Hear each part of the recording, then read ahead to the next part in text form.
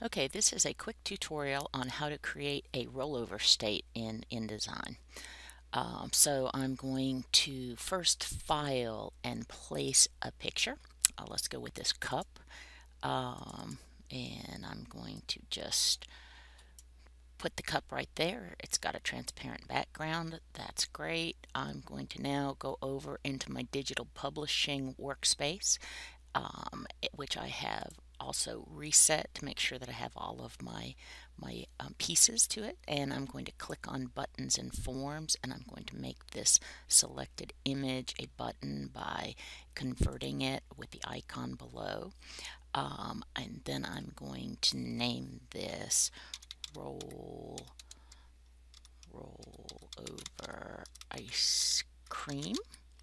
And then I'm not going to have it do anything. I just want it to have a rollover state. And so I'm going to switch to my rollover state.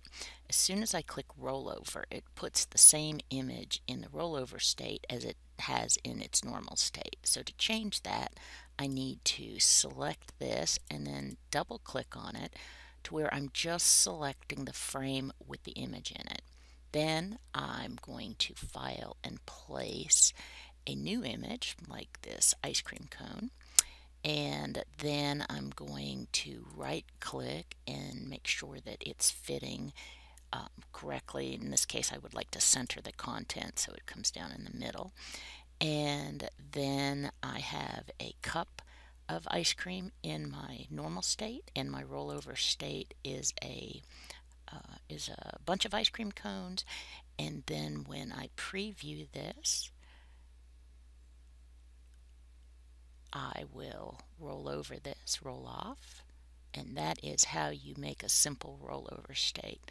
I'm going to end this by making sure that my appearance starts out in the normal position, not in the rollover position.